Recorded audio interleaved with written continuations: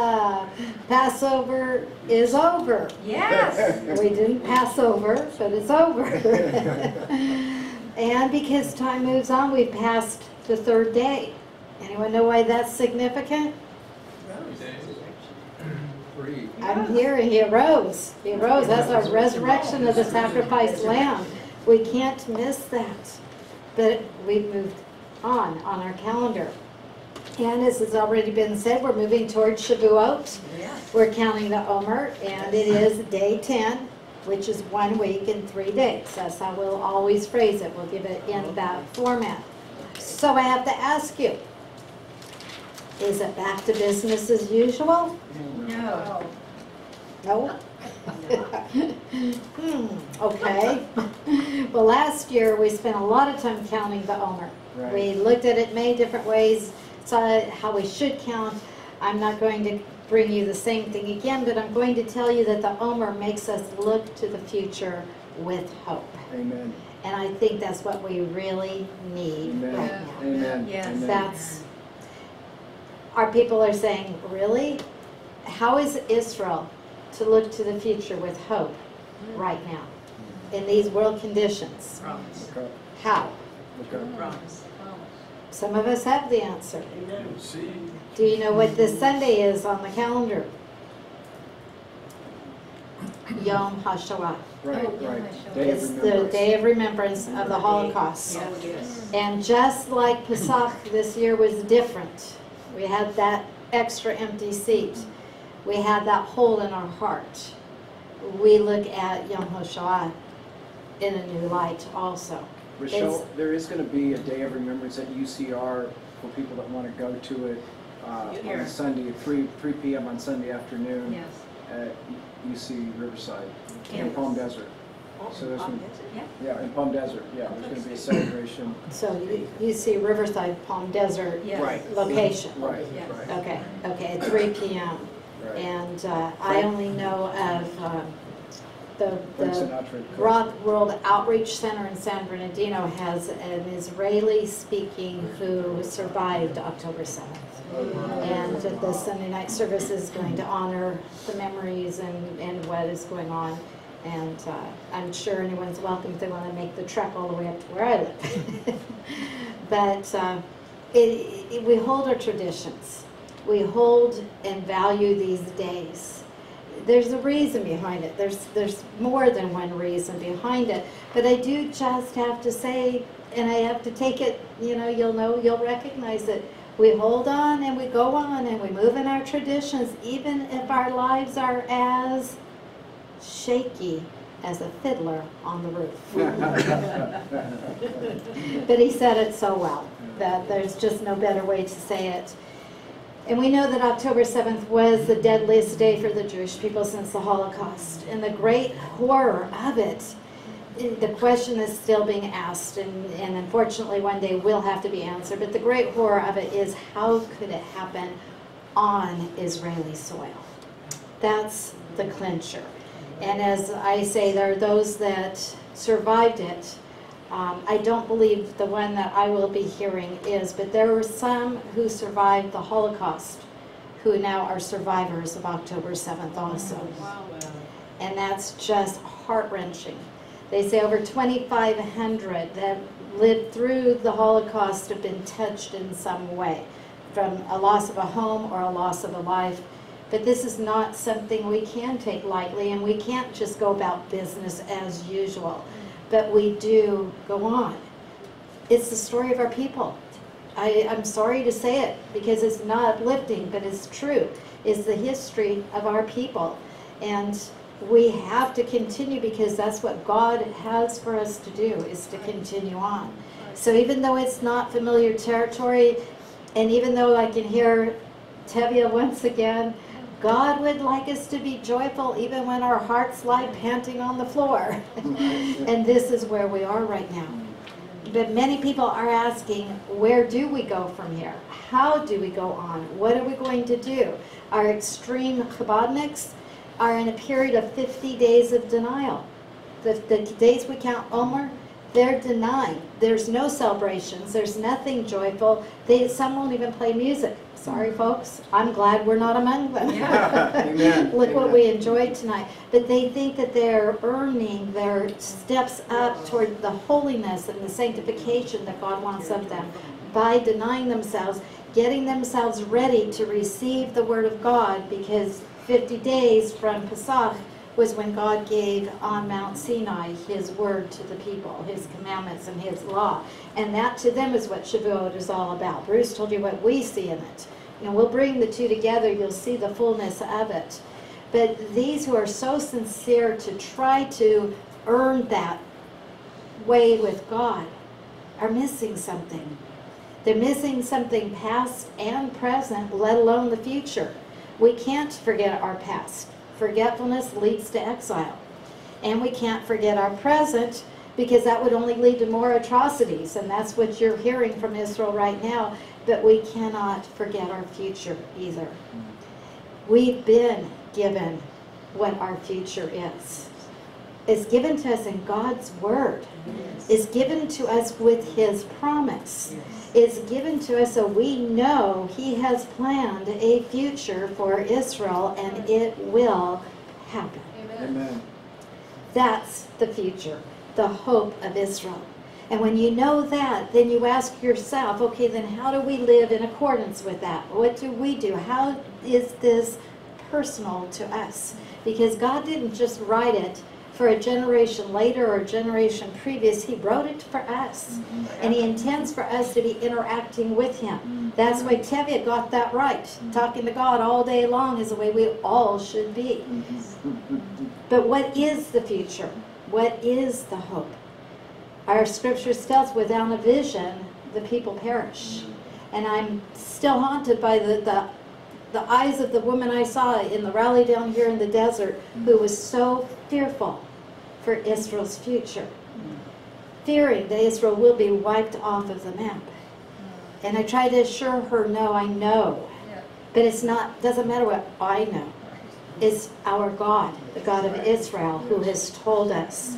And in the Psalms, Psalm, telling Psalm 130 and verse 7, it says, Israel, put your hope in the Lord. For with the Lord is unfailing love, and with him is full redemption. Hallelujah. Amen. It says it all. It says it all. It answers everyone and their questions. Death does surround us. In biblical times, we have it in our parsha. Our parsha starts off with the death of, of Nadab and Abihu because they were bringing strange fire before the Lord. They were not being obedient, and it cost them dearly. We have death through our scriptures. Okay, let's go past our scriptures and we look in our history books, and what do we find? Death. Aren't I uplifting tonight? Hang in there. because it is our very current headlines, and there isn't any way we can escape it. So, how do we keep on? And how do we hold on to hope? We've said what the hope is. The hope is in the Lord. The hope is in the God of Israel. Hope is in the God who birthed Israel in hope and then rebirthed her in hope again. And there's where I want to take you. I want you to see the bigger picture. I want you to see where we're moving. I want you to see that we're not earning brownie points with our God. But as we look to Him, listen to Him, follow Him, and walk in what He has established, we will walk in hope and not in fear. Going all the way back, I have to take you back to Abraham because initially Abraham was called to leave home. All he was told was, Go. We've got someone in the midst of moving in our group tonight. I think she can relate to this, but she knows where the move is going. Abraham didn't. He wasn't given a map. He wasn't given instructions that were all laid out. He was just simply told, go, and I will show you. Mm. And he stepped out in that faith. He stepped out in the hope that he would find that land. Mm. And it couldn't have been easy. We know he even had trouble leaving some of his family. We see that. But God gave him a great promise in chapter 12 of Bereshit when mm. God promised the blessings on Abraham that, that he would bless those who bless them, curse those who curse them, and through him, through this nation, all the world would be blessed. God birthed this hope into, into Abraham's heart. But it's not, it doesn't stop there. And I want to show you how hard it was because we tend to read and it's not the same as when you live through it. Yes. Okay, so I'm going to read a bit for you because now we have Abraham at 99 years of age. Jim, he beats you. but you give me new insight to 90s. and may we all be like Jim when we're in our 90s. Amen, amen. God spoke to Abraham at 99 years of age. It's recorded for us in chapter 17 of Bereshit. And I'll start with verse 1. I am El, El Shaddai, and we refer to God Almighty tonight. Bruce, you were on some of my notes, but then we divided. We didn't walk in tandem. As, as he called out that he is El Shaddai, he is God Almighty, he said, Walk in my presence mm-hmm. and be pure hearted. I will make my covenant between me and you, and I will increase your numbers greatly. Think, okay? He's 99. His wife is 89. They don't have any little kidlets. There's no children of Israel, okay? This is it. And he's hearing God say, I'll increase your numbers greatly. Well, Abram fell on his face. And God continued speaking with him. He showed honor, he showed respect that his mind is going. And I know it's going because I know what he says. it's not my, my reading it, it's there. As for me, this is my covenant with you. You will be the father of many nations. Your name will no longer be Avram, but your name will be Abraham, because I have made you the father of many nations. I will cause you to be very fruitful. I will make nations of you. Kings will descend from you. Well, by this point, he's got to be thinking, really? really? Uh, I think we have a problem right the get-go. Verse 7, God went on and said, I'm establishing my covenant between me and you, along with your descendants after you. Do you know what a descendant is? A descendant is a begat, okay? When you read it in the scripture. The descendants are coming from him, generation after generation, an everlasting covenant to be God for you and for your descendants after you. Wow, what Wow, he's telling him, not just I'm going to give you descendants, but I'm going to be your God. I'm going to be with you. I'm going to bless you. I will give you and your land, eh, I'm sorry, I will give you and your descendants after you the land in which you are now foreigners. Hello, Abraham, you're home. This is going to be your land. It's going to belong to your descendants, and it's going to belong generation after generation after generation. And I say, world, Yep. sit up and That's take notice. Amen, amen. And I'm not done yet. All the land of Canaan as a permanent possession, and I will be their God. Well, verse 9, God said to Abraham, As for you, you, you are to keep my covenant, you and your descendants. Do you hear this again and again? And do you think he knew Abraham was having a little bit of trouble with this? And he's saying, Don't miss it. Don't miss it. Get this. Because he says, You and your descendants after you, generation after generation. He's telling him, You're not going to just have a son, you're going to have a grandson, and you're going to have a great grandson, and it's going to go on and on and on. And then he gives him the sign of circumcision, and we all know, wow, what a sign this was. So much meaning in there, I'd have to stop and give you a whole lesson. I hope you all know it. If you don't, talk to me later. We'll, we'll do that another time. But I want to pick up in verse 15 of the same chapter. God said to Abraham, as for Sarah, you- I'm sorry, Sarai, your wife, you're now to call her Sarah. I will bless her. Moreover, I will give you a son by her. Did I hear you right, God? She's 89. Do you remember that, God? We've kind of gone past those days. And yet, he says, Truly, I will bless her. She will be a mother of nations. Kings of people will come from her. And at this, Abraham fell on his face and he laughed. And he thought to himself, Will a child be born to a man a hundred years old? Will Sarah give birth at 90? I, I can just hear him, really? this is mind blowing. and we just read by it. Yeah. No, we want to wake up and we realize God birthed hope into Abraham's heart.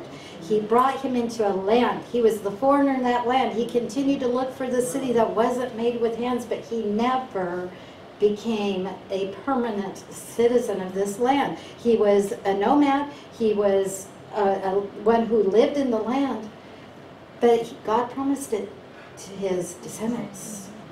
But it was birthed in hope. I'm going to fast forward because I have to hurry. We have a clock. That's what's not in heaven. And we've got Abraham, and we've got his son, Yitzhak, Isaac, and we've got his grandson, Yaakov, Jacob. Do you know what they all did? They lived in the land, the land that God had promised. But still, it was just the land of promise. And it's going to be years later. We're going to go well over 400 years. We're going to hop over Pesach, and we're going to come to the time when God is bringing our people back to that land. And they're going to come back into that land because God is going to free them from slavery, Yes. from hostage like conditions. Yes. And I cry out, oh my God, do it again. Yes. Do it again. Amen. Do it again. So God uses Moshe to free them from Pharaoh's grip. And now they're going to have shalom, right? Well, mm, first they're going to face the Red Sea, the Egyptian army pursuing them, pursuing them. I can't talk.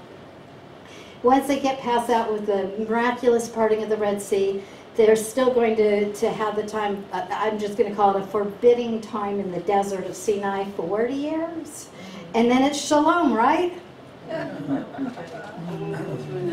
Okay, then there's going to be battling. They're going to battle the well fortified cities of the Canaanites that God has promised that He would kick them out of the land.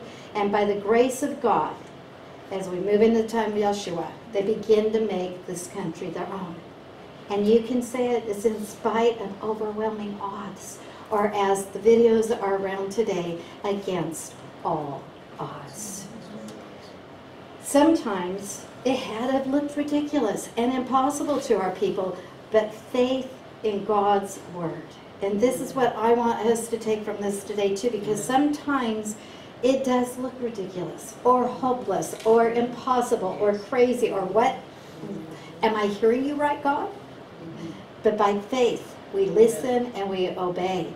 Think about them stepping right up and into the Jordan River. It is a rushing river. It needed to part also, and it didn't part till the priests stepped in, the ones who were carrying the ark, symbol of the presence of the Lord. Or how about the time when the whole people line up, get ready, march all the way around the walls? Mm-hmm. Don't say a word. You ever tried to keep people quiet? I don't know how that worked. but they weren't to say a word. The trumpets blew. They followed the ark. The people followed. Had a whole entourage. And that whole city on the inside had to have thought, what are they doing? Day one. Day two. Day three, and if I had time, I would dramatize it so you get the idea. By day seven, I'm sure the inhabitants of Jericho are laughing, are thinking, there's those fools again, they're out for their walk, you know, I hope it's doing them some good because this is crazy. And this day, they are told to go around once. God says go around seven times. The number of completion, the number of perfection, and on the seventh time, blowing the trumpets and moving forward. Now they are to shout. What do you think they shouted? Any ideas? Hallelujah. That's where I went. Hallelujah. You're the one who said hallelujah. That's where I went. In my mind, I think it was it's on. Hallelujah. And in the name of our God, they went forth and they mm-hmm. conquered. I have no idea. We'll find out one day. But I'll take you to another battle. And here we see the faith because the leader said, Son, stand still. Mm-hmm. That's not exactly how he did it. He prayed for God to make the sun stand still. But you get my point. And the moon had to stay in its place. Mm-hmm. If you told the people that, well, Janet will understand me. They would say he was Meshuggah. it was crazy, okay? Yet the river did part, and the walls did fall down, and the sun and the moon did halt. And do you realize that didn't throw everything out of orbit? The stars didn't fall, and everything, the axis of the earth, everything. I can't think of all the scientific things that should have happened, Mm, but none of them did. And they moved on. So now we get shalom, right? I think you're smart enough. No, not yet.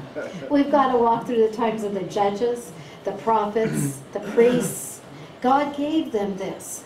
But the time of the judges was a cycle of rebellion and judgment, and it was repentance and repeat. Judgment, rebel, I'm sorry, rebellion and judgment, repentance and repeat. Again and again and again. And we've got priests that were less than admirable, and we've got prophets. Some of them were outright false prophets. They were not declaring the word of the Lord. Think of Jeremiah's time. He was the only one crying out, telling them how it was really going to be. And they took that so well, they threw him in the pit. right. That's how well they took it. Yet in the midst of it all, one common theme I see is God always gave. He gave hope in the midst of their storm, in the midst of their circumstances, just as He can do for us today. And even when they were exiled in disobedience out of that land of promise, we have the prophets Yeshahu, Jeremiah, Ezekiel, Micah. We have so many that told about coming judgment or in the judgment or how long the judgment would last. But notice that because they've always talked about the fact it would come to an end and out of God's grace they would be restored. God never left them without hope. If this woman that I met at that rally knew her God, she would have had hope. That's what I had, that she didn't. And not because I'm someone, but my God is. Lamentations 2:19 says, "Arise, whimper in the night. At the beginning of the night watches. Pour out your heart like water before the presence of the Lord. Raise your hands to him for the life of your little ones who's languishing because they're hungry." Can you imagine a parent watching their child starve? This was what they were going through because they had not been obedient. And yet, just a little past that lament, we have chapter 3, verses 22 to 24. But in my mind, I keep returning to something, something that gives me hope that the grace of Adonai is not exhausted, his compassion has not ended. On the contrary, they are new every morning. How great is your faithfulness! Adonai is all I have. Therefore I say, I will put my hope in him. Israel, you need to put your hope in God. Israel always had grounds for hope. They didn't always exercise it. Many of them today are not exercising it, but they have always had and have opportunity for that hope. And God does promise their return, and we do see they return then. And God has promised that there is one coming who will be a holy priest, who will be the faithful prophet, actually the fulfiller of prophecy, one who will be the perfect king. You know what his name is? Yeshua, Mashiach, Jesus the Messiah. But first that king would come, and Zechariah, Zechariah 9 9 tells us, Rejoice with all your heart, daughter of Zion. Shout out loud, daughter of Jerusalem. Look, your king is coming to you. He's righteous, he is victorious, yet he is humble. He's riding on a donkey. Yes, on a lowly donkey's colt. Right there, they were told, King Messiah, he's coming, but he's not coming as king. He's coming humble. He's coming as a servant. But also, God promised that this king would reign. And we have that in Zechariah also, just the, the next verses. We were in 9, now we're just going to 10 through 12. It's right there. God never leaves them without that hope. I will banish chariots from Ephraim and war horses from Jerusalem. That means there's war in the territory of Ephraim and the territory of Jerusalem. The warrior's bow will be banished, and he will proclaim shalom, to the nations. Jerusalem has never known that shalom.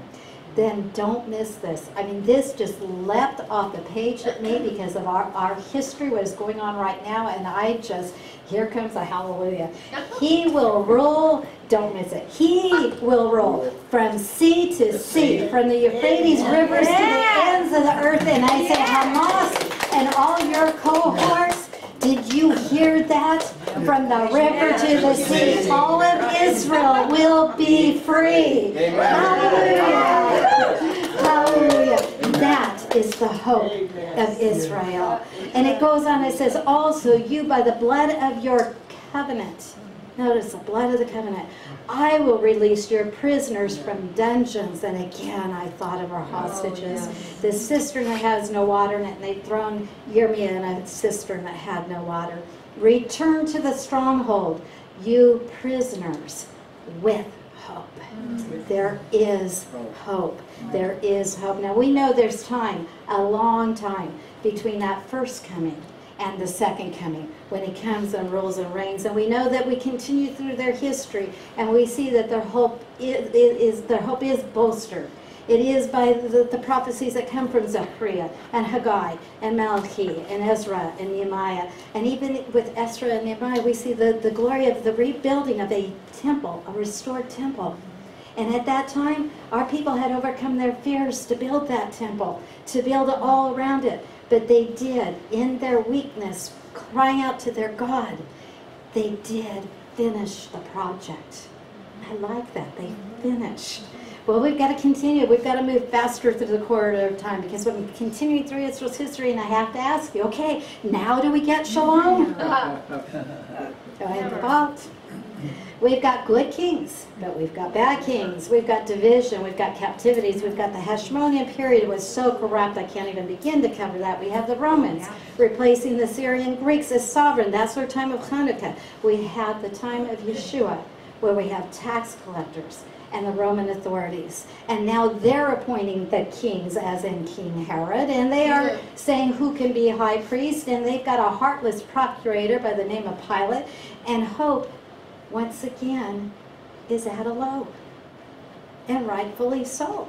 They're living through this politically, materially. The sheer pain of everyday life was their reality. This is our story. Yes. Second song, third verse, first, same song, second, forget it. It. And with Rome comes Titus. Do you know what Titus is known for? The burning of Jerusalem, the beautiful temple, the walls. He burned to get the gold out from between the bricks. He set everything on fire. Fire is devastating. And our people have been marched off. He's built an arch that's called an Arch of Triumph because he's saying this is the end of the Jews. And I want you to know that I took these little feet and I stood at that Arch of Titus with uh-huh. another Jewish, my partner in ministry, and we stood and we unfurled an Israeli flag and said, uh-uh, these feet are pointed toward Jerusalem and we're going home. We are here because our God said there will never be an end of Israel. But we're still in the diaspora to this day, even though we have, and hallelujah, and it's another hallelujah moment, we have the nation reborn in a day. We have the fulfillment of the prophecy of Yeshahu, Isaiah chapter 66, that said, Can a nation be born in a day? I'll read it for you in a moment, but before I get there, I want you to know that yes, shalom for Israel is possible. Politically, materially, we're not seeing this yet, but we know that they're blind to their greatest hope. And that's what will bring them shalom. So even though they're back in the land, it's no wonder they don't have shalom yet. And they're not all back in the land. There's a few of us right here. So- but there's coming a time, and it's called Yaakov's trouble, Jacob's trouble. It has to come first. In this time, they're going to see devastation that makes what I'm talking about pale in comparison. And that takes my breath away. I can hardly imagine. listening to the news reports on October 7th and 8th and 9th and 10th and continuing on and what we hear today, I, I can hardly take that in. And that's nothing to what God says is coming. Nahum, chapter 1 and verse 6, he asked, Who can stand before his indignation? Who can endure, endure the burning of his anger? His wrath rushes, gushes forth like fire, and the rocks are broken up by him. Malachi, chapter 4 and verse 1 says, Behold, the day is coming, burning like a furnace. And I look at our Haftorah portion for this week, and Ezekiel, Ezekiel chapter 22, verse 14 says, Can your heart endure? Or can your hands be strong for the days that I deal with you? I, the Lord, have spoken and will act. And this fire, this day that God is talking about, is to cleanse the land. It is a fiery judgment. But God will bring his people through. Those who put their faith in him, those who turn to him, he will bring them through. And remember these words Messiah. How do I say it? Is, is of Messiah. Zechariah chapter 9 and verse 10 now. His dominion will be from sea to sea, from the Euphrates River to the ends of the earth. That is so poignant because of what we hear and is recorded here. In the midst of judgment, yes, that judgment is coming, but here is the end. Here is our hope. Hosea chapter 2, verse 14 says, Therefore, behold, I'm going to persuade her. I'm going to bring her into the wilderness. I'm going to speak kindly to her. I will give her her vineyards from there in the valley of Achor as a door of hope, and she will respond there as in the days of her youth as in the day when she went up from the land of Egypt. And it will come about on that day, declares the Lord, that you will call me your husband, mm-hmm. and I will, and no longer call me Baal. You'll no longer be in idolatry and false worship. You're going to come to know that you are. For the believers, we are the bride of Yeshua. For Israel, she is the wife of Jehovah, the faithful God. Zechariah chapter 14 says, When the day comes, this will be written on the bells worn by the horses. On their bells of the horses. It's going to say, consecrated to Adonai. And the cooking pots in the house of Adonai will be as holy as the sprinkling bowls, sprinkling bowls uh, before the altar. Yes, every cooking pot in Jerusalem and Yehuda will be consecrated to Adonai Sabaoth. Everyone who offers sacrifices will come. Take them and use them to stew the meat. When that day comes, there will no longer be Canaanites, the merchants who made it something other, in the house of Adonai Sabaoth. There is hope. There is the tabernacle of David that will be restored. Amos, Amos told us that in chapter 9 and verse 11. And Jeremiah 31 says, God saying it, I, it, that it will not be like the covenant I made with their fathers on the day when I took them by their hand and brought them out of the land of Egypt, because they, for their part, violated my covenant, even though I, for my part, was a husband to them, says Adonai. For this is the covenant I will make with the house of Israel after those days. I will put my Torah within them. I will write it on their hearts. I will be their God, and they will be my people. And no longer will anyone of them teach his fellow community member or his brother, saying, Know Adonai, for all will know me, from the least to the greatest, because I will forgive their wickedness, and I will remember their sins no more. Hallelujah. Amen. Do you know what correlates with that is Hab- Habakkuk, Habakkuk in your English, chapter 2, verse 14. The earth will be full of the knowledge of the Lord as the seas are full of water. I think the seas are pretty full of water. So the earth is going to be full of the knowledge of the Lord. We call that the Ha'alam Haba, the world to come. You know what that is? Shalom. Yeah. They finally get it. there finally is shalom. The lion and the lamb will lie down together. The kings will fall down before the Lord. Remember, even the horses' bells are consecrated to the Lord. All the nations will serve him, and shalom will be known throughout the world. Can you wrap your mind around that?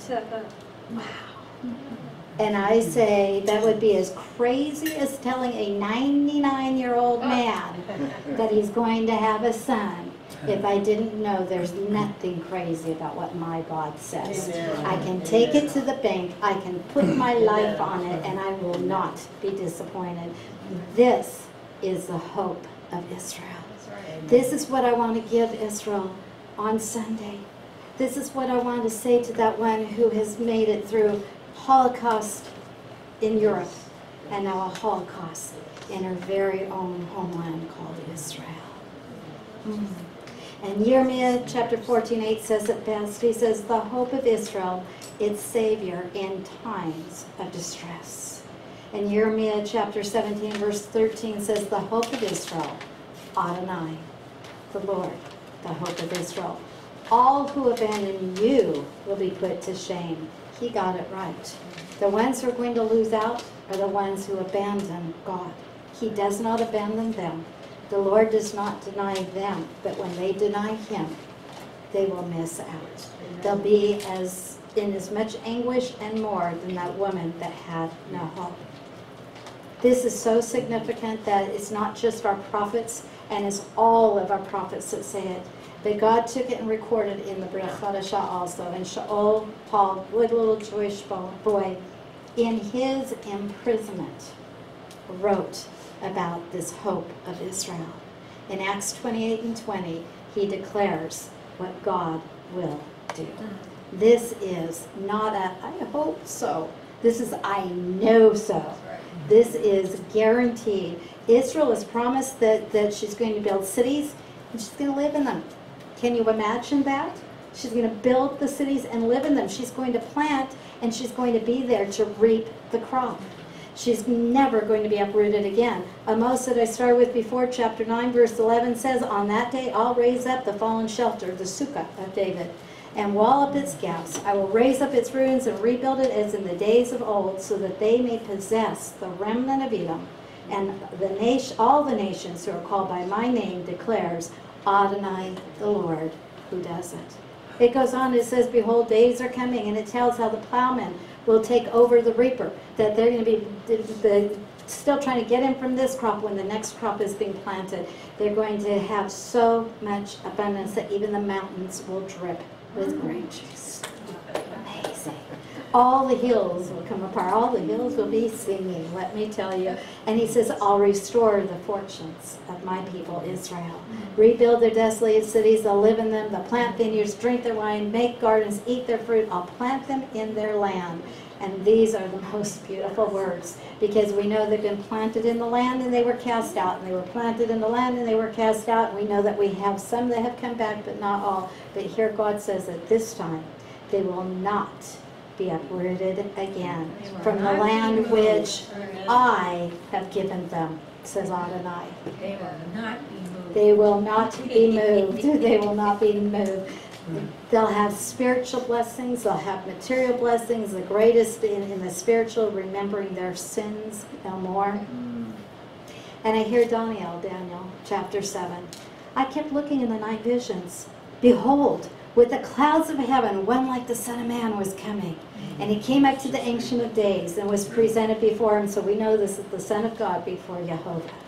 And to him was given dominion, honor, and a kingdom so that all peoples, nations, populations, all languages might serve him. His dominion is an everlasting dominion which will not pass away, and his kingdom is one which will not be destroyed. Israel, there's your future. We're all familiar with Yeshayahu, Isaiah 9 6, all the names that are given, and we, we, we, all, we pull them out, especially around the time of remembering his birth, the birth of Messiah, but we should be saying his names all all the day long, all the year long. We shouldn't stop, but don't stop with six, go into seven, because it says there will be no end to the increase of his government or of peace Yes. on the throne of David and over his kingdom to establish it and uphold it with justice and righteousness from then on and forevermore. The zeal. Do you know what zeal is? The excitement of Adonai Sabaoth. He's excited. I'm not the only one excited. He's even more excited. And he says, the, the Adonai Sabaoth, the Lord of the armies, the host of heaven, the host of the earth, he will accomplish this. And I hear the Lord himself saying, hallelujah. I see him rejoicing. And that's how we answer a question. How do we live now? We live with the hope of Israel. We live knowing that we can count that Omer. And remember, they brought in first fruits by faith, saying, We're going to have a great harvest in 50 days. That's what we're going to be bringing at Shavuot, is our harvest. But here's our first fruits. Here's our, our hope. And we know Yeshua rose on first fruits. First fruits. He is our hope of the resurrection, of the harvest. And here we can count. And we can count looking toward that future. We're not going to count and look toward, it's been, I've lost count now. It's over 200 days. It's over six months. We won't be counting those days. We'll be counting the days of rejoicing, to bring in the harvest, to celebrate, to come up to the mountain of our Lord and to give him praise. And it will go throughout the land. Hallelujah. What what a plan. What how beautiful it is. And this is how we do business. It's taking care of business. It's not business as usual. The Israel's hopes have been raised and dashed for millennia. Her prophets, her priests, her kings that have failed. Twice she's been disobedient and thrust out of the land. She's been tortured. She's gone through relentless persecutions. She's been homeless. And yet, 2,000 years out of the land, and she still remained a people. That's the faithfulness of our God, and that brought back their hopes. Now we have a homeland, and that's why this is so devastating to our people. Is they felt that at least the Jew now had a land, so the Holocaust wouldn't happen, and then this strikes them. But again, this is where God said that, that she would deliver before she was in labor, that she would be born in a day and a nation would be given all at once. That's the rebirth. And that spurred a utopian fever. There was such hope in the first early years. Yes, it was hard. And I remember the joke in the kibbutz that my parents were in in 1953 when Israel was just a few years old. And they said, you know, for thousands of years we've prayed for this and it had to happen to me. but 76 years later, we've got a scenario. We've got that they've been shamed, they've been robbed, they've been despised, they've been abused, they've been murdered, they've been raped, they've been beheaded, and they're continually threatened. I, the world court wants to arrest Right. Netanyahu. Right. Hello, hello. And Israel, stop. Do not defend yourself. Lay down your weapons and there'll be peace. Really? Really? Israel is not going into Rafah to be genocidal, to wipe out a people. She's going into Rafah to wipe out terrorism, to give all the people, the Arabs and the Israelis, a chance to live and not to live in the conditions they're in now. So when will this peace come? When does Israel get this shalom? And we all know, not now, and not with what we know is coming, but after it. After it, she will. The time of Yaakov's trouble will come to an end, and Messiah, the hope of Israel, will come. It's all about the king's business, and that's what we should be all about, is the king's amen. business. And that's why the words, even though they were spoken many thousands of years ago, are so poignant for us today.